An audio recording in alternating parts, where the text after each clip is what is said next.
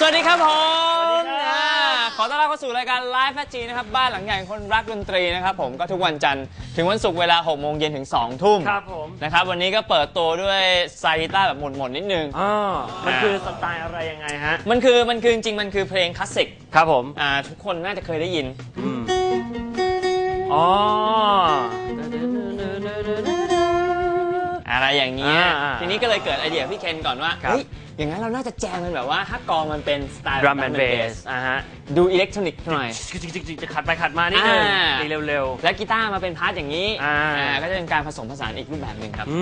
มอ่าเผื่อน้องๆวันนี้เลยขอหม่นนิดนึงใช่ เอาไปผสมได้ผมว่าตอนนี้ดนตรีเรื่องเทรนด์ของดนตรีมันก็มีการที่เรียกว่า mix ผสม and ผ match สานกันเยอะมากเลยครับ นะครับอ่านี่ก็เป็นหนึ่งตัวอย่างนะครับตอบคำถามจาก Facebook ครับ ครับเขาบอกว่าอยากถามพี่พลว่าซาวของ Fender กับ Gibson แตกต่างกันยังไงบ้างโหต่างต่างกันคนละเรื่องเลยคนละเรื่องนะคนละเรื่อง ฟังแล้ว คือถ้าเป็นกีมือกีตาร์เนี่ยฟังแล้วรู้รู้เลยแอนะครับ sound Fender ก็คือด้วยด้วยความแตกต่างหนึ่งคงเป็นลักษณะของรูปทรงกีตาร์ก่อน ครับ ความหนาความบางของไม้สองก็คือเรื่องของคอนแทค Pick ที่ up รับเสียงพิกอัพที่รับเสียง ก็ต่างกันคอรัย่าบงอย่าง Gibson เนี่ยก็จะเห็นว่าจะเป็นเขาเรียกว่าเป็น humbucking ครับคือเป็นปิกอัพสองตัวอืมใช่ไหมฮะแต่ Fender จะเป็น single coil ก็คือครับปิกอัพตัวเดียวครับสามตัวเรียงสามอัน นะครับซึ่งซึ่งเสียงเนี่ยแตกต่างแน่นอนผมว่าจริง ๆ แล้ว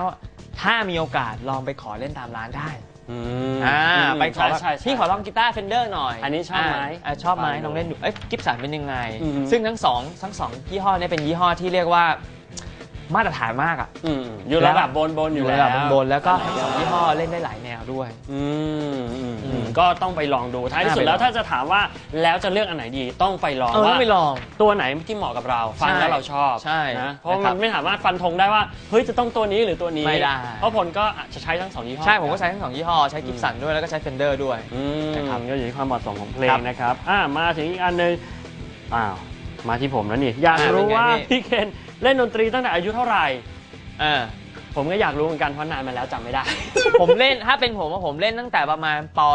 อืม .4 เล่นวงวงดุริยางค์โรงเรียนตอนเช้า โอ้ตอนเช้าเข้าแถวแล้วต้องไปเลยปุ๊บ แทงแทงถึงแทงถึงแทงไปหยิบกองเล่นอะไรครับกองตนนั้นกองเล่นอะไรแท็กอ๋อตอนนั้นกองกองแท็แท็กกสะพายข้างเลยแท็กแท็กแท็กแท็กเท่มากนะถือว่าเท่มากได้อยู่หน้าโรงเรียน พอตกเย็นปุ๊บเล่นอังกะลุง โอ้โห นี่คุณสายดนตรีมาตั้งแต่เด็กแล้วเออนี่ไม่คบรู้อะไม่รู้อะไรคือแม่ก็ไม่ได้พาไปนะ อืมแต่แบบอยากไปเล่นก็เลยไปขอคุณครูเขาบอกอืมคุณครูอยากเล่นดนตรีด้วย อืมอืม ก็ไปตีกลอง อืมของผมนี่รู้สึกว่าจะเริ่มมาตั้งแต่ประมาณมมมต้นมถ้าต้นจับความได้นะ น่าจะมต้นจริง ๆ เล่นแบบก็แก๊กก็แก๊กมาตอนประถมนั่นแหละอืมป .6 อะไรเงี้ยแต่ว่าเริ่มเข้าวงโยจริง ๆ คือม .3 ครับอ๋อ